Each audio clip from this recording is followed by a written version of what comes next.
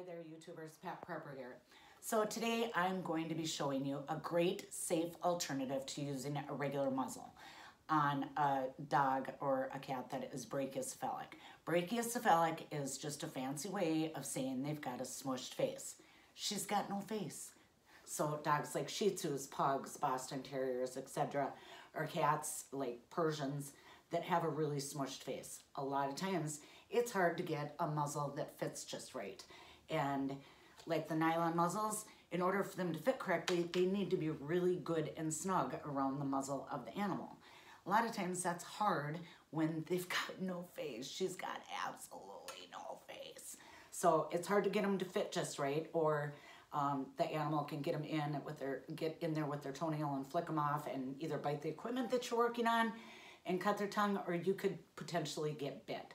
So this little gadget is the best thing.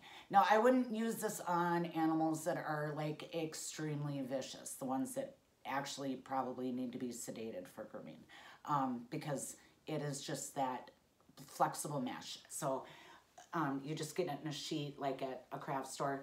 There will be a link in the description box to the video on how to make one of these and how to fit your, your animal um, for sizing.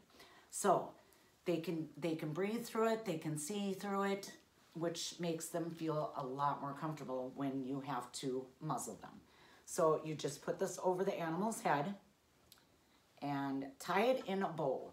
Now that's very important because if you do have to get this off in case of an emergency, you want to be able to get this undone really quickly. So now you can do whatever you need to do. The reason I'm making this video today is because mid prepping her for the tub, I got bit. She actually put a hole in my thumb. I try to give her the benefit of the doubt, but um, her name is Sadist for a reason. So anyhow, thanks for watching. Pet Prepper and Sadie.